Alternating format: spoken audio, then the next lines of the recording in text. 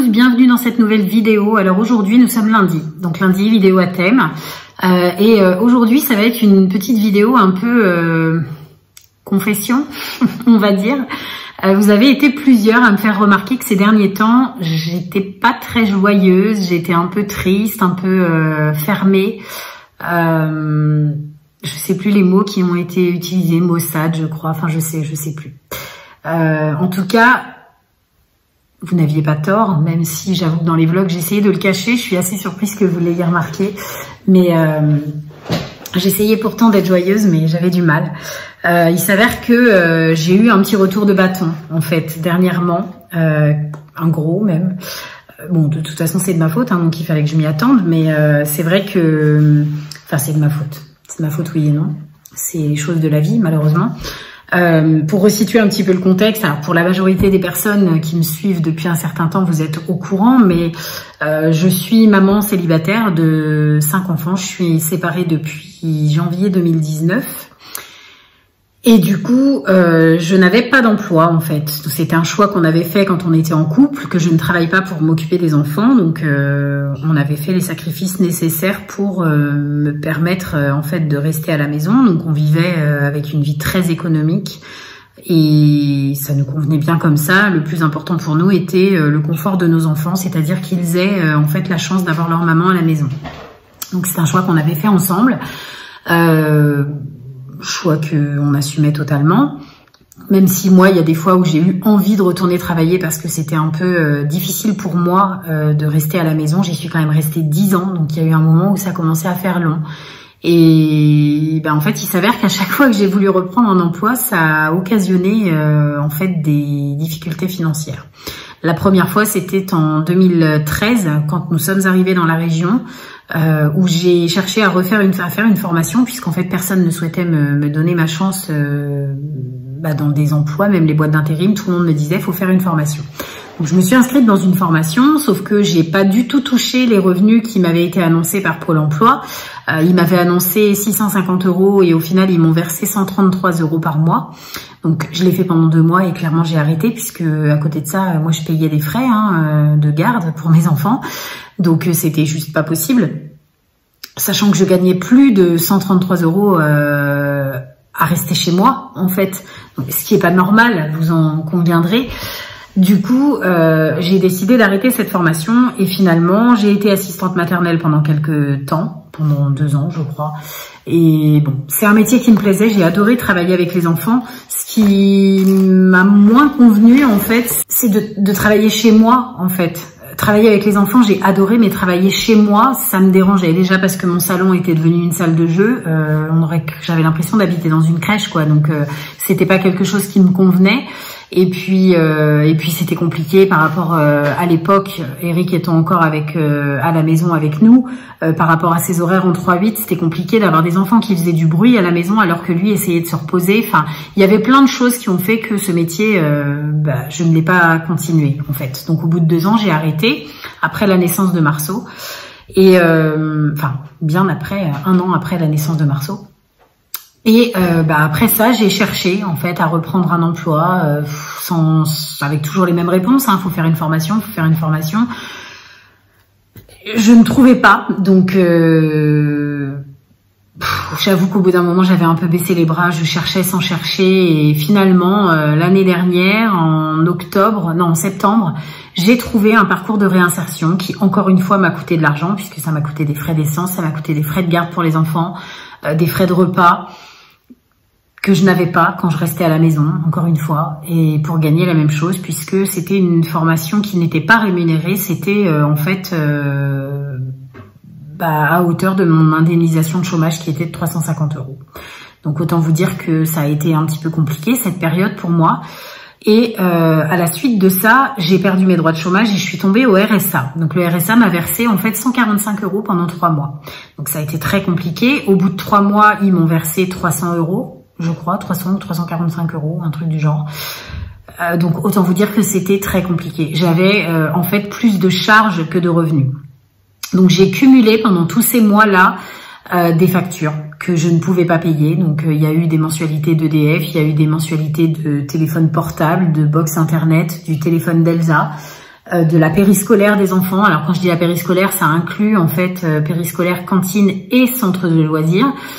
Et du coup, bah, tout ça, ça m'a fait peur. Ça m'a fait très très peur parce que bah, je me voyais ressombrer euh, de la même façon que quand on a fait notre dossier de surendettement, puisque à la base, pour ceux qui ne le savent pas, euh, en 2016, on a fait un dossier de surendettement. Alors, on en avait fait un en 2014, mais comme on s'est séparés, on l'avait annulé. Puis après, on en a refait un en 2016. Et quand on a refait ce dossier, on nous a accordé un plan de rétablissement personnel, c'est-à-dire qu'on a eu un appurement en fait de nos dettes. On n'a rien eu à rembourser. Mais euh, en contrepartie du fait de n'avoir rien remboursé, on a eu une interdiction bancaire qui s'étalait sur 5 ans. Donc ça, c'était euh, c'était la contrepartie, c'était la conséquence. Euh, malgré tout, ce dossier nous a quand même bien aidé à un moment où on en avait bien besoin. Donc, euh, on ne regrette absolument pas de l'avoir fait. Maintenant, c'est vrai que 5 ans, c'est long hein, quand vous attendez à récupérer des autorisations bancaires normales. Surtout maintenant que j'ai retrouvé un emploi, que bah, j'ai une situation financière, euh, j'ai envie de dire normale, puisque depuis euh, le mois de juin où j'ai repris le travail, non, depuis le mois de mai, pardon, où j'ai repris le travail, j'ai eu mon premier salaire au mois de juin. Donc euh, c'est vrai que au mois de juin, j'ai peut-être abusé un petit peu parce que je me suis dit oh, c'est mon premier mois de salaire, euh, faut qu'on en profite. Donc c'est vrai que j'ai fait des plaisirs aux enfants.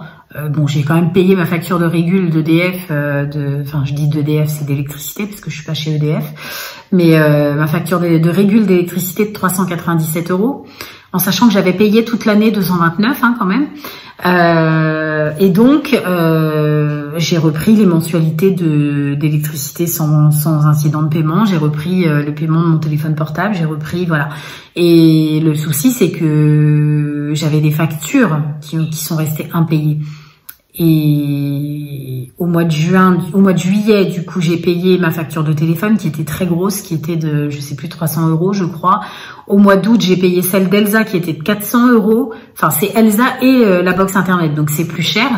Euh, et comme on avait, euh, je sais plus, on avait le bouquet famille, c'était encore plus cher. Et enfin bref. Du coup, tout ça, j'ai annulé. Maintenant, on n'a plus le bouquet famille, on a juste la box, mais malgré tout, avec un forfait 100 gigas pour Elsa que j'avais pris pour pouvoir euh, comment dire, euh, avoir mon iPhone moins cher. Mais c'est vrai que, bon, après réflexion, euh, quand je vois ce que ça coûte sur le long terme, je me dis que c'était pas vraiment une bonne idée. Mais bon, c'est comme ça. Donc, au mois d'août, j'ai payé le téléphone d'Elsa et la box internet. Sauf que, bah, en fait, un soir, je suis rentrée du travail et je n'avais plus d'électricité parce que bah, comme j'avais repris le paiement de mes mensualités d'EDF depuis le mois de juin, je me suis dit bah ils vont pas me couper mes services en fait. Donc j'ai donné la priorité aux autres factures. Euh, et là justement j'avais prévu en fait euh, de leur proposer un échéancier pour la facture d'électricité, sauf qu'en fait ils n'ont pas attendu. Enfin si, ils m'ont appelé pour me proposer un échéancier. Et finalement, euh, le mois d'après, ils m'ont appelé au mois de juillet. Hein. Donc ils m'ont proposé un échéancier et euh, que j'avais accepté et que j'ai commencé à payer tout à fait normalement. Et au mois d'août, en fait, euh, avant même d'avoir prélevé la deuxième mensualité, euh, ils ont coupé mes services. Donc quand j'ai appelé pour leur demander bah, ce qui s'était passé, puisqu'il y avait quand même un échéancier qui était en place, que j'avais repris mes, mes paiements sans incident depuis le mois de juin, enfin c'était pas normal que je me retrouve sans service aujourd'hui alors que je payais mes factures. Et euh, ils m'ont répondu que c'était des factures qui étaient trop vieilles, que c'était pas normal que ça dure aussi longtemps et que du coup, euh, l'échéancier, ben, en gros, on s'en fout, on veut notre argent. Donc je pense que c'est un peu dû aussi au contexte du Covid qui a fait euh, quand même beaucoup de... les entreprises ont besoin d'argent, hein, donc je pense que c'est un petit peu dû à ça. Et donc du coup, ben, en fait, ils m'ont coupé mes services et je n'ai pas eu d'électricité pendant 15 jours. J'ai été obligée d'emmener mon contenu de congélateur chez Anaïs. J'allais prendre ma douche chez Anaïs. Heureusement, c'était la période où les enfants étaient chez Eric. Heureusement. Et donc pendant deux semaines, pendant les deux semaines où les enfants étaient chez Eric, je n'ai pas eu d'électricité. Donc euh, j'ai été obligée de payer en fait la totalité de ma facture qui s'élevait à, à 700, 780 euros, je crois. Heureusement que j'ai reçu la prime de rentrée scolaire parce qu'ils ne voulaient rien savoir, même si je leur avais fait euh, un premier paiement de 300 euros, ils voulaient en fait le solde. Donc il me restait 481 euros à leur donner et ils voulaient rien savoir, ils voulaient les 481 euros. Donc quand j'ai reçu la prime de rentrée scolaire, j'ai utilisé les 481 euros pour payer euh, le solde de ma facture d'électricité. Du coup, euh, il me restait cette facture de périscolaire en fait, puisque tout le reste euh, c'est réglé. Et en fait, pas de bol. Hein, euh, quand on commence dans les galères, je pense que ça s'arrête plus. la mairie m'a appelé vendredi pour me dire que en fait, je n'aurais pas de service de périscolaire à la rentrée parce que j'ai trop de factures en attente. Donc j'ai expliqué ma situation. J'ai dit qu'en plus c'était vraiment pas de la mauvaise volonté, que c'était juste que effectivement, j'avais donné un ordre de priorité pour le paiement de mes factures et que ben, justement, j'attendais ma paye de septembre pour leur faire un premier paiement euh, assez conséquent et que la suite, euh, j'aurais demandé un échelonnement et elle m'a répondu que de toute façon, euh, si je ne paye pas, en fait, je n'aurai plus accès au service de l'enfance tant que je n'aurai pas payé le solde de la facture. Donc, quoi qu'il en soit, il faut que je paye la totalité de ma facture. Donc, ça va être un peu compliqué de, tout régler sur le mois de septembre. Donc, j'espère bah, que j'aurai des solutions de garde pour les enfants jusqu'aux vacances, enfin peut-être pas aux vacances d'octobre, mais jusqu'au moins début octobre où j'aurai ma paye. Parce que euh, c'est compliqué pour moi de gérer euh, mon travail euh, si j'ai pas la garde des enfants, quoi. Donc là, bah, Laura va me dépanner un petit peu là, mais elle, elle cherche du travail aussi, donc je pense que ça va pas durer très longtemps.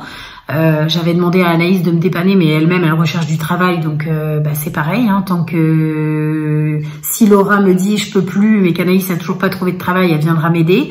Mais si elle a trouvé du boulot, bah je sais pas quelle solution j'aurai parce que j'ai mis une annonce pour trouver quelqu'un euh, pour venir garder mes enfants chez moi.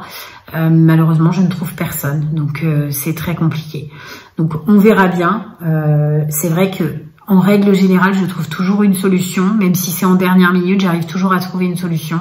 Euh, donc j'essaye de ne pas désespérer. Je suis très croyante, j'ai une foi euh, assez énorme en fait en Dieu. Et euh, c'est vrai qu'il m'a jamais laissé tomber. J'ai toujours trouvé une solution à mes problèmes. Donc je me dis, Là, par exemple, euh, enfin, la facture d'EDF qui tombe pile le mois où je reçois la prime de rentrée scolaire, c'était quand même une bénédiction parce que si j'avais pas eu cette prime, je ne sais pas comment j'aurais fait pour payer le solde de cette facture et récupérer mes services d'électricité.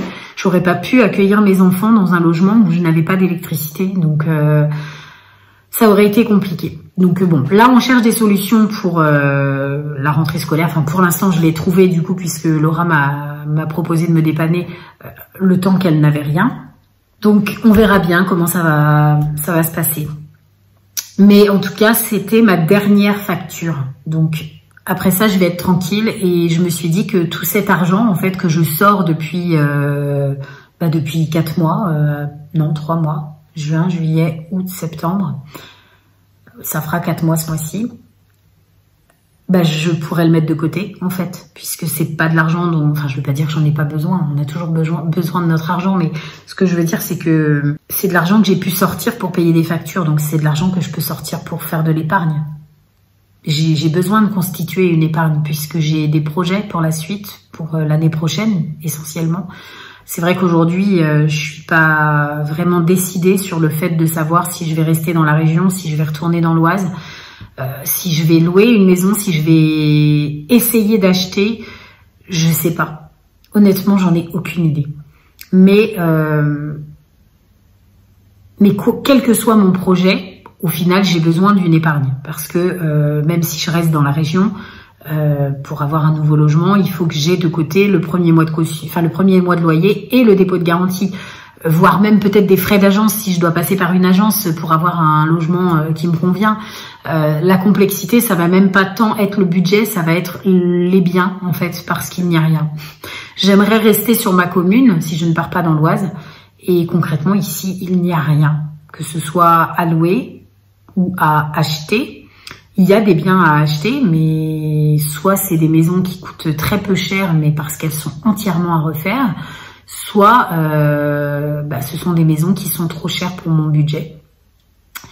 Donc euh, une maison dans laquelle il faudrait faire des travaux, euh, honnêtement si j'avais eu un homme dans ma vie, je me serais lancé les yeux fermés. Mais moi toute seule, je me vois pas faire des travaux. Enfin, je sais que Anaïs m'expliquait que la maman de Florentin, c'est ce qu'elle fait. Donc Florentin, c'est le chéri d'Anaïs. elle vient de s'acheter une maison qu'elle a entièrement refaite. Là, elle est en train de la terminer justement pour s'installer dedans là mi-septembre. Et honnêtement, je lui tire mon chapeau parce que elle a tout refait, les isolations, euh, l'installation du poêle à bois, etc. Enfin, elle a tout fait. Donc après, il y a des choses qu'on peut faire faire par des entreprises, mais il faut que ça rentre dans le budget et bah, c'est pas toujours facile. Donc euh, je pars du principe que euh, acheter, ça risque d'être compliqué. Maintenant, faut voir avec des devis, etc. Euh, peut-être que c'est possible, mais on verra ça l'année prochaine. Mais quoi qu'il en soit, de toute façon, que j'achète, que je loue, que je loue ici ou que je loue dans l'Oise, il me faudra euh, de toute façon un petit pécule d'argent euh, pour euh, bah, pour envisager mon installation, pour faire des petits travaux de, décoration en arrivant. Enfin, c'est vrai que là je, je, compte déménager, mais honnêtement je vais pas déménager pour n'importe quoi comme j'ai pu le faire jusqu'à maintenant. Là j'ai vraiment envie de déménager pour être bien en fait. C'est-à-dire que là quand je suis venue dans cette maison, j'ai pris cette maison parce que je ne trouvais rien d'autre avec un jardin. Euh, cette maison, c'est un logement social. J'ai un tout petit jardin, mais j'ai un jardin. Euh, maintenant, effectivement, j'ai fait le sacrifice de ma chambre, puisque moi, je dors dans une pièce sans fenêtre qui est euh, officiellement un grenier. Donc techniquement, c'était pas censé être une chambre. Hein. la chambre, elle est censée être là à côté de moi, sauf qu'elle est parfaitement ouverte. Il n'y a aucune porte, il n'y a aucune cloison. Donc pour moi, c'est pas une chambre. J'en ai fait mon atelier de couture et c'est vrai que dans la prochaine maison, j'aimerais avoir quatre chambres. Donc est-ce qu'il faudra que je fasse le sacrifice d'acheter une vieille maison pour pouvoir être propriétaire? Peut-être. Je me dis qu'après, euh, si c'est une maison en l'état euh, qui est habitable, moche mais habitable, je me dis pourquoi pas. Euh, maintenant, si bah, il faut refaire toute l'électricité, toute la plomberie, non. Non, non, clairement. J'achèterai une maison si l'électricité et la plomberie sont en bon état. Après, je suis prête à voilà faire des frais pour une cuisine, euh, à réaménager une salle de bain, euh, c'est des choses que je me sens prête à faire parce que je ne suis pas seule et je peux me faire aider. Mais euh, mais je me lancerai pas dans des gros travaux de changement de fenêtre, tout ça. Enfin non, c'est si ça rentre dans le budget en le faisant faire par une entreprise, pas de souci. Mais si c'est hors budget, ça sera pas pour moi. Voilà. Donc après, je peux euh, me projeter aussi dans une maison en location dans laquelle je pourrais faire éventuellement des petits travaux. Ça ne me dérangerait pas puisque, comme je le disais, c'est pour une installation de longue durée. Maintenant, je ne sais pas de quoi sera fait l'avenir. Euh, Est-ce que euh, d'ici l'année prochaine, euh, je travaillerai toujours dans la même entreprise? Est-ce que je serai toujours au même poste puisque ma patronne a l'air intéressée pour me donner des choses administratives à faire et moi clairement ça m'intéresse vraiment beaucoup. Donc si je peux évoluer en administratif, évidemment que je vais pas quitter ce job. Maintenant, est-ce que j'irai m'installer sur la commune où je travaille pour nous faciliter la vie? Parce que du coup, c'est vrai que ça m'éviterait les temps de trajet, même si je n'ai que un quart d'heure, hein, c'est vraiment pas grand-chose. Euh, ça me faciliterait euh, les conditions de vie parce que dans cette commune, il y a un supermarché. Donc je n'aurai plus 20 minutes à faire pour aller faire mes courses, même si c'est un super U et que moi, euh, je vais systématiquement chez Leclerc. On s'adaptera, on fera les courses chez Super U. Mais euh, je me dis que, en tout cas, euh, bah, ça pourrait être une une bonne chose pour Elsa principalement. Parce que euh, Elsa en fait elle est au collège maintenant et que bah, aujourd'hui pour aller au collège elle est obligée de prendre le bus. Qu'elle aille à Cholet ou à Chemillé c'est le bus. Donc de toute façon elle ne peut pas rentrer le midi pour manger et elle ne peut pas sortir plus tôt si elle termine avant l'heure prévue de son emploi du temps. Donc à moins que moi je puisse aller la chercher, ce qui est rarement le cas maintenant que j'ai repris le travail. Donc c'est vrai que si elle pouvait être sur place, puisque là-bas il y a un collège privé, un collège public, une école privée, une école publique, bah c'est vrai que du coup euh, ici aussi on a école privée, école publique, mais on n'a pas de collège. Et c'est vrai que si Elsa pouvait être à proximité de son collège, elle pourrait rentrer manger à la maison le midi et pouvoir sortir plus tôt ou commencer plus tard le matin si euh, elle a des profs absents ou quoi que ce soit. Euh, ça serait quand même un confort de vie pour elle parce que euh, bah, ces jours-là, elle pourrait se permettre de rentrer plus tôt et de faire ses leçons plus tôt. Et donc du coup, euh, bah, en termes d'organisation, ce serait quand même un peu mieux. Voilà. Donc bon, ça c'est des choses qu'on verra d'ici l'année prochaine. Je me dis que si j'ai rencontré quelqu'un, c'est pareil, ça changera aussi mes projets certainement parce que je doute rencontrer quelqu'un qui n'a pas d'enfant. Euh, c'est vrai qu'à mon âge, euh, enfin la quarantaine, euh, les hommes qui ont la quarantaine, ils ont quasiment tous un vécu. ils ont pour la plupart eu des enfants et donc si on a tous les deux des enfants, ça veut dire une famille recomposée assez nombreuse quand même, puisque moi déjà moi toute seule j'en ai cinq. et que bah, ça voudra dire forcément prendre une maison adaptée, ça voudra dire s'adapter à son lieu de travail, à ses enfants, à mon lieu de travail, à mes enfants. Donc si ça se trouve, on ne restera pas sur cette commune. si ça se trouve, je serai encore célibataire l'année prochaine et je me fierai que à mes enfants. Peut-être, je ne sais pas. je ne peux pas tirer des plans sur la comète parce que je ne sais pas de quoi il fait demain. Euh, c'est vrai qu'aujourd'hui, là, le fait de me dire que bon, ok, j'ai pas de service de péri pour le mois de septembre, mais euh, mon problème d'électricité est réglé. Mes autres factures sont réglées, je n'ai plus que celle-ci. Je commence à voir en fait le bout du tunnel et c'est un petit peu difficile hein, quand même hein, de garder le moral euh, quand on vit des périodes difficiles comme ça, mais je me dis que là, le mois de septembre va être un petit peu dur parce que effectivement, il va falloir payer cette facture qui est quand même d'un montant assez important. Mais, euh, mais je me dis que ce sera certainement le dernier qui sera difficile. Donc euh, bah, j'espère que ce sera vraiment le cas et que après ça, je pourrai vraiment mettre de l'argent de côté, qui va pas me tomber des tuiles euh, sur le dos qui vont m'empêcher euh, bah, de faire ça, de mettre de l'argent de côté et de pouvoir réaliser, des projets l'année prochaine. Puisque j'ai aussi le projet de changer de voiture, vous le savez, j'en parle régulièrement. J'en avais pris une d'ailleurs en location au mois de juillet. Vous m'aviez d'ailleurs posé la question de savoir pourquoi je n'avais plus la voiture de location. C'est tout simplement parce que j'en avais réservé une à la base parce que je ne savais pas si j'allais travailler au mois d'août. Euh, comme j'ai commencé au mois de mai, je, suis censée ne pas avoir acquis de congé. Donc en fait, je suis actuellement en congé sans solde, alors je reprends demain. Donc pour vous aujourd'hui, du coup, quand vous verrez la vidéo, euh, enfin si vous la regardez le jour de sa diffusion, euh, je reprends le travail. Et donc, euh, comme j'ai pas travaillé du quasiment du tout du mois d'août. J'ai travaillé une semaine. Je voyais pas l'intérêt d'avoir une voiture de location. La seule sortie qu'on a fait, c'était d'aller, euh, si je suis allée une fois sur Nantes, et euh, bah là, je suis allée euh, deux fois sur Angers, quoi. Donc c'est pas, j'avais pas besoin d'une voiture de loc pour faire ça. Donc j'ai utilisé ma vieille voiture et ça s'est très bien passé. là, j'aurai une nouvelle voiture de location la semaine prochaine.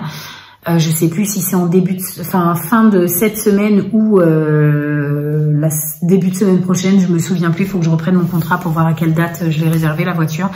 Mais euh, mais j'aurai effectivement une Clio. Donc qui est bien plus petite que ce qu'on a actuellement puisqu'on est sur un 7 places, mais en sachant que voilà Anaïs ne vit plus vraiment avec nous, donc une voiture 7 places pour euh, un 5 places pardon pour les enfants et moi, nous sommes 5 donc ça fera parfaitement l'affaire. Voilà. Donc ça va forcément être moins confortable pour Com qui se trouve à la place du milieu à l'arrière, entre les deux sièges auto, mais euh, je me dis que ça va gérer.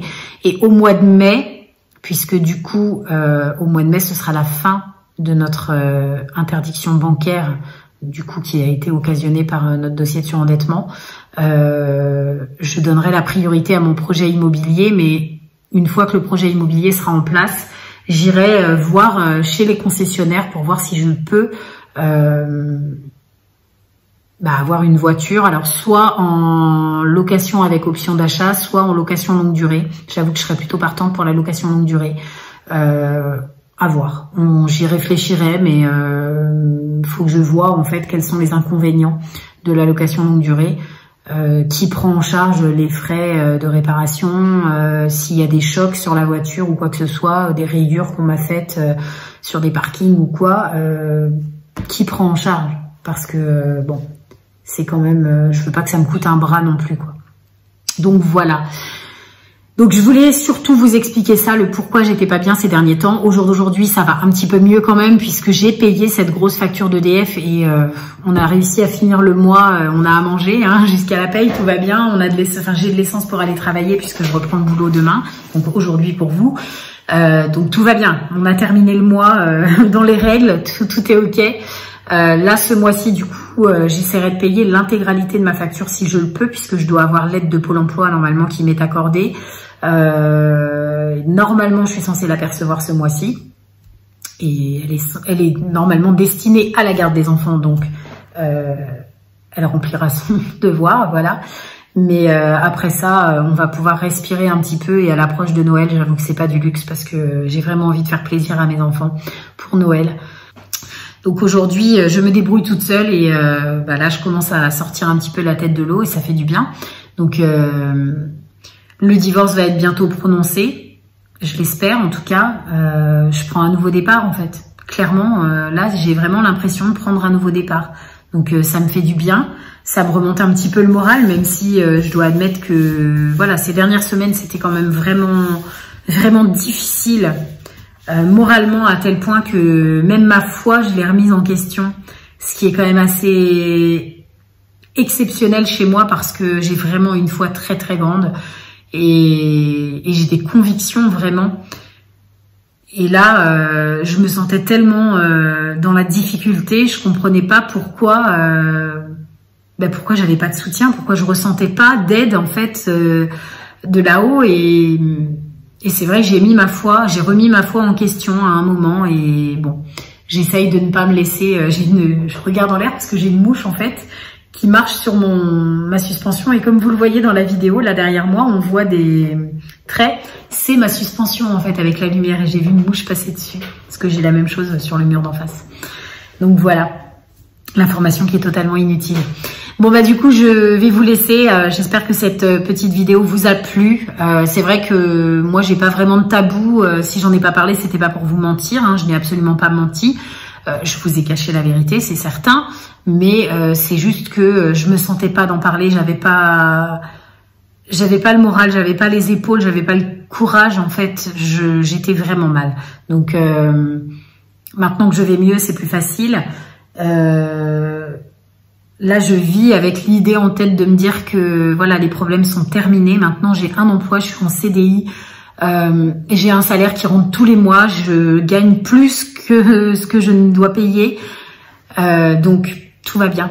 Tout va bien dans le meilleur des mondes et tout va aller de mieux en mieux. Et je me dis que la seule chose qui va me manquer maintenant, ça va être un homme. Ce qui va pas être évident à trouver, hein, j'en suis consciente, mais euh, qui sait? Peut-être que justement, une surprise m'attend. Peut-être. On verra bien. Mais sur ce, euh, je vous remercie d'avoir regardé cette vidéo. J'espère qu'elle vous a plu. Euh, n'hésitez pas à la liker ou à disliker si c'était pas le cas. Laissez un petit commentaire, euh, abonnez-vous si ce n'était pas déjà fait. Et puis bah, je vous dis à demain pour un nouveau vlog et je vous fais des gros bisous. Ciao